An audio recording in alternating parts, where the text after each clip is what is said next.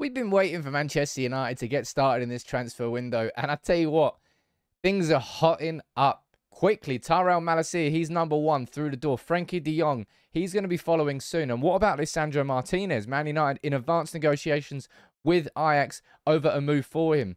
What if all three of those join Man United? What would Ten Hag's best 11 look like?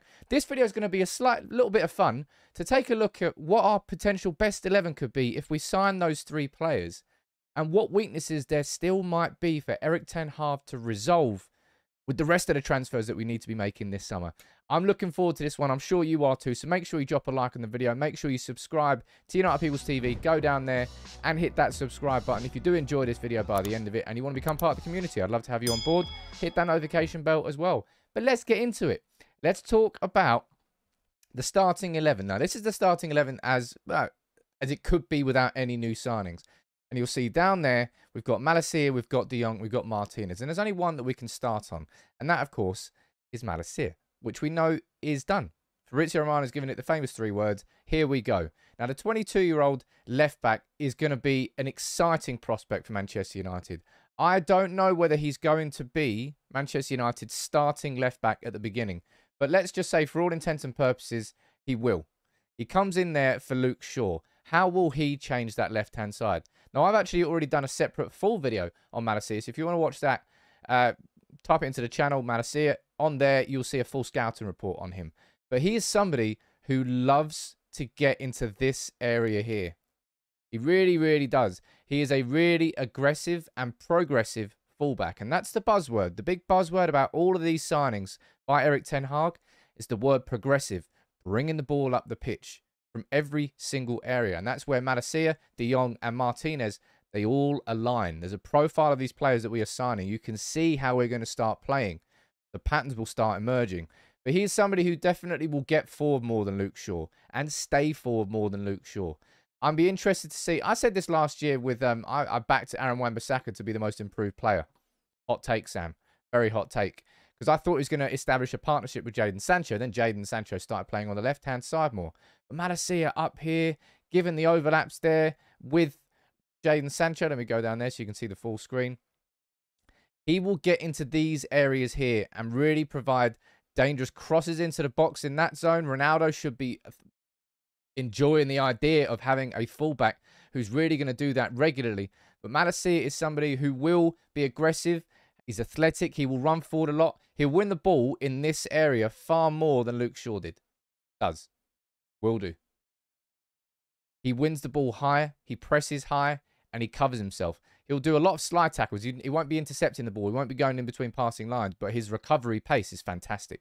I think he'll be an excellent signing. I'm looking forward to seeing what happens. And I'm looking forward to seeing where he fits in. But it gets more and more interesting when you start talking about Frenkie de Jong. Now, I've still held back on the video that I've been waiting and waiting and waiting to do on how much of a transformative signing I think De Jong would be. But dropping him into this team here changes a lot straight away. And if I'm looking at who is probably likely to drop him for, I would say Scott McTominay. But in realistic terms, I would actually expect probably that. I think I would expect De Jong to play that side. I'm not quite sure. I might be wrong on that one. But Frenkie de Jong is the key for all of it. He's the key. He's the cog. He is the main centerpiece of everything. Not literally just being the centerpiece in the central midfield. But De Jong will drop here. De Jong will be the first person to receive the ball from our defenders, whether that's Maguire, Varane, or Martinez. We'll have a conversation about that in a minute. De Jong will drop deep. De Jong will make sure that the defense passes the ball to him, so he can either progressively carry it forward himself or start the attacks with through balls, start the attacks with progressive passing. Manchester United have have been so bad at holding a deeper line like that. Now, Martinez is going to change that more so than De Jong will, but De Jong's presence there will give the defence a confidence to step up a little bit more because they know full well that Frenkie De Jong is there to receive that ball. He's there to bring it forward, and he will always present himself as the option to our defence. The main thing that he's going to really revolutionise is our ability to play out from the back with the ball. And there's no doubt that with De Jong there, we're massively improved. I personally would still argue it's still a key weakness. Scott McTominay, I think, is somebody who Erik Ten Hag will coach into being a better player. It's no doubt that he's got natural physicality, temperament, attitude, work ethic. There's a lot of things that are natural to him, which every footballer needs. But he needs to be smarter. And in that position, you need a higher football IQ than McTominay has been showing for uh, Uh, basically his, his United career to date. He's got a lot of good, but if he's going to play in that position, he needs to be a lot better. Because De Jong there, I think that's a weakness. His partner there is a weakness. McTominay, will he play there? Probably ahead of Fred. I think Fred's far better. Well, I think McTominay and Fred are far, both far better in this sort of number eight role rather than a number six role. But if we don't sign someone to play alongside De Jong, McTominay may well play there. Now, this is where I think it definitely gets really interesting because we can get excited. We can talk about De Jong all day long. And I will talk about De Jong all day long. I think he's going to be incredible. I think he's going to quickly become probably the favourite player for Manchester United fans and certainly my favourite player quickly. But I'd say this Martinez one is the transfer that I find most intriguing because of the options that it brings you. Now, Lisandro Martinez, we know what position he plays. He is a centre back, first and foremost. 139 appearances there in his career so far at centre back. But as you can see, he played like a majority of a season as defensive midfielder. He can also play on the le left back as well. Thank you very much, Arsenal, for, for just, just sitting there, just warming it up for us and allowing us to come in over the top. Pretty weird that they, honestly, I've done a video on that earlier. I'm sure you can, I did that yesterday actually on uh, what are Arsenal doing? What did they expect? The Ajax were going to accept their low ball offer and not just wait for United to come in? Poor from them to really think about that if you think, that's what I think. So anyway. But look, we went after Jurrien Timber. And if you look at the profile of Lisandro Martinez, you can see a lot of the similarities in terms of pass completion, pass attempted, progressive passes, progressive carries. There's a lot of similarities. Jurrien Timber, far better. He's in a top 1 percentile for dribbles completed, but he's more of a right back, centre back, compared to Lisandro Martinez, who really is an out and out centre back or that central defensive midfielder. So as I said, that's where it gets interesting. Because if we go over here, I think Martinez, it's quite easy to see where on paper you think he would drop into. It would just be that, wouldn't it? It would be Martinez alongside Rafael Varane. By the way, I've said this off record. I'll go on record now. I think Rafael Varane could be incredible this season. If he can stay injury free, we keep talking about these new signings. Rafael Varane, we literally signed one of the best centre backs in the world, and injuries have stopped him. But inside this system, he could thrive alongside Martinez. And as I said there, the big difference that Martinez will bring to that back line is the ability for that back line's default position next season not to be on the edge of our own box, but more to be around about there. That's where I think Manchester United will want to play next season under Erik Ten Hag. And that, therefore, does this. And this is what Erik Ten Hag's system does and what he wants to achieve at Manchester United. He wants his fullbacks far closer to the halfway line as a default position rather than the edge of their own box. He wants his defenders to be pressing up a little bit higher because by doing this, you make the pitch smaller.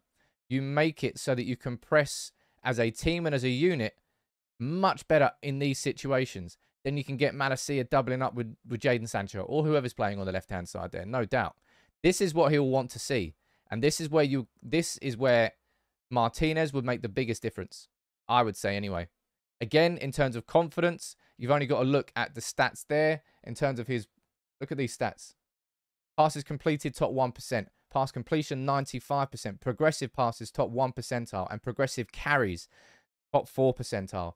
He's not only fine with receiving the ball from David De Gea, Martinez will take that and he'll happily carry it forward a bit, carry it to De Jong.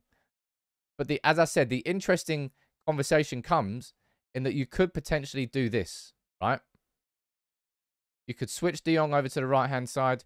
You can bring Martinez through and into that midfield position. You can drop McTominay down there and you can bring Harry Maguire in. Now, the immediate response to that is probably that line, because of Harry Maguire's lack of pace, is going to have to drop back maybe six, ten feet. It's going to make United play that little bit deeper but we would have far more steel in midfield and quality if that if that was a partnership there. I'd be interested to know what you think about Martinez because Martinez, there's no doubt he's being brought in to Manchester United first and foremost to play in that position right there, to play as a centre back. But he can and has played as a defensive midfielder. So I'd like to know what you think in the comments. What would you say is our best 11 then? Would it be Martinez playing in that defensive midfield role? I might. I'm probably going to do a separate video on this uh, as we as probably next week. I think But Martinez, I can completely understand why Manchester United and Erik Ten Hag are going after him aggressively. Tyrell Malacia, awesome. 22 year old, 17 million. He's either going to improve Luke Shaw or usurp Luke Shaw. And one of those two, both of those two situations, Manchester United win. Frenkie de Jong, I've told you what I think about him. A completely transformative signing. And then Martinez, slotting him in there. Now, where are the key weaknesses you still think exist in this squad? You could, you will probably say, look, well, maybe Antony should be next after that. And I think a right winger would probably be the next thing I would go for. Anthony Elanga, he's definitely going to be working for his chances, but you need two top players in every position. That's what City have got. Their, their second 11 is ridiculous. Therefore, we need somebody over there. We haven't really got one person who's who's got that right wing as his own, let alone two. We've got Elanga, we've got Amad who can play there, Pellistri who can play there, but just youngsters who are trying to vie for that position rather than top quality like Sancho. We probably need that on the right wing. We also need a backup to Ronaldo, really. We're going to struggle, I think, this season, uh, especially if we get an injury to Ronaldo. But what do you think about that? As I said, it was it's a nice, fun video to do. It's a bit of a predictions video because we will make more signings. But Christian Eriksen, where does he fit in there? I just wanted to do it to focus on De Jong, Malacia, and Martinez and what the best 11 could look like. And if we're being honest, it's probably something like that. You can let me know what you think in the comments below about what I've said in this video. Make sure you subscribe to United People's TV because this summer is hotting up, baby. Yes, please, John Murtough. Keep it coming, man. Keep it coming.